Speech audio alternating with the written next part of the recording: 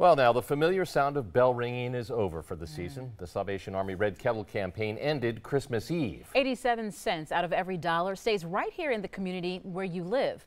Our Julia Fello found out just how close Milwaukee County is reaching their goal this year. George and Shannon, at last check, the Salvation Army Milwaukee County raised $2.4 million, and they are still counting tonight. That's more than a million dollars short, though, of their goal.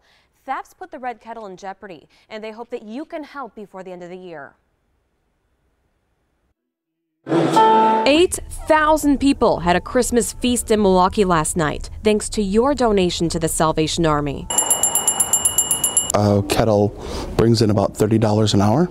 Um, so if we have a bell ringer there for two hours, it helps feed a family of four for a week. Red Kettle Coordinator TJ Anguiano with the Salvation Army tells us the final numbers aren't quite in yet. Their goal is to reach $3.8 million.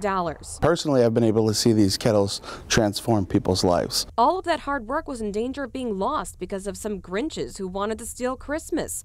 In Caledonia, this woman swiped a red kettle at a Walgreens. Uh, I guess she posed as a ringer for about an hour, and then uh, when the coast was clear, she took off with the kettle. Her boyfriend told officers they stole it to support their heroin habit. Honestly, that's kind of between them and God, I guess. Salvation Army leaders tell me they do not plan to change any of their security protocols that have been in place for 125 years. The best security that we have is just having a bell ringer at each stand. There are happy endings. After this man was caught stealing a red kettle from a pick and save in Milwaukee, a Good Samaritan came forward and donated enough money to cover the loss for the day.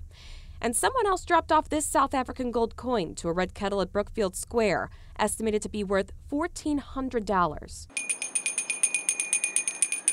And bell ringers have found some interesting donations over the years. A lot of engagement rings, one of them with a note saying, I hope this brings you luck better than it did for me. And even gold teeth, which are pretty penny, about $200 a tooth, showing every little bit helps. Back to you. Love the engagement yes. ring story. the, the Salvation Ouch. Army is accepting donations until the end of the month. You can head to the links section of our website, tmj4.com, for information.